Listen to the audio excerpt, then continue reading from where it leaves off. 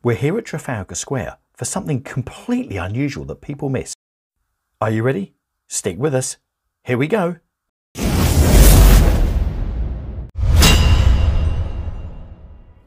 We're in the heart of London at Trafalgar Square, where all distance to London is measured, and we're at the base of the steps just underneath the National Gallery. Many people come to Trafalgar Square, but nearly everyone misses this. These are the Trafalgar Square measurement standards and were installed here in 1876. Nearly 150 years ago. In a fire that raged across London, which is only second to the Great Fire of London, this fire in 1834 burnt down much of what was then Westminster. Lost within the fire were the standards of imperial units of measurement.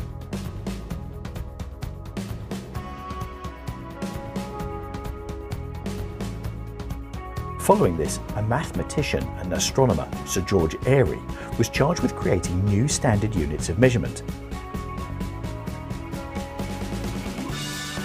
He did this between 1838 and 1842.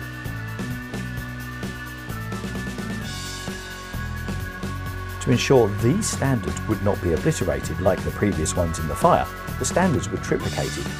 One appears at the Great Hall of the Guildhall and the second is by the gate of the Royal Observatory in Greenwich, and this is the third and final one here at Trafalgar Square.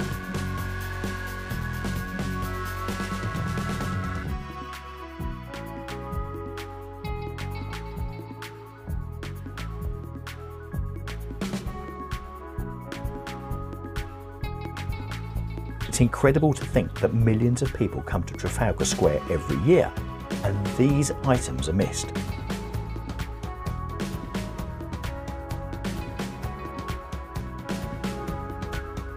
All the measurements are at the base of the stairs which lead up to the National Gallery and they're both to the left and also to the right and as you can see here they're also slap bang in the middle as well as brass plaques.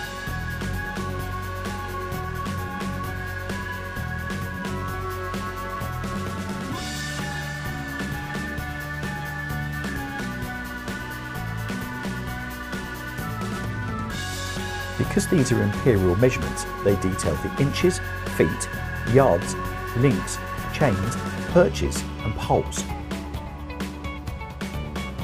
Just to help you and save you googling, a chain is a unit of length and it measures 66 feet or 22 yards. If it helps further, there are 10 chains in a furlong and even more importantly, 80 chains in one mile.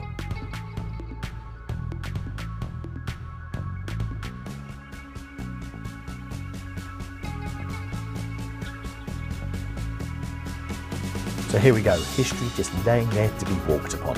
So if you get up to Trafalgar Square or revisit, then do make sure you look out for these pieces of history right here at the base of the steps under the National Gallery. If you love discovering things like this about London, then you might want to click into some of the videos that I've put in the top right hand corner in our playlist called Secret London, where you'll discover so many other great things around London as well. And if you click on those, I'll see you in those videos shortly.